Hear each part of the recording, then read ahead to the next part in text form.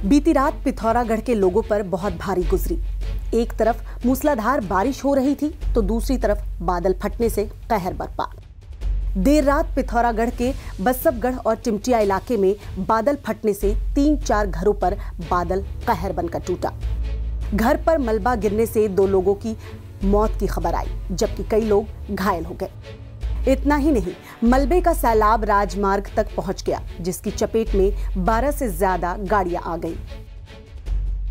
Badrinath highway पर पीपलकोटी पागल नाला गोविंद घाट और लाम बंगड़ में मलबा आने की वजह से रुका हुआ है।